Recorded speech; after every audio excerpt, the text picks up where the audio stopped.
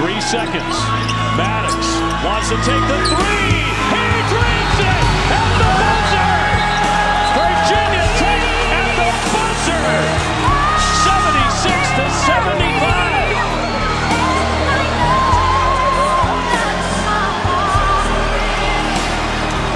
Corey, they went for the W and the dagger. Darius Maddox with his second game winner in a span of two weeks.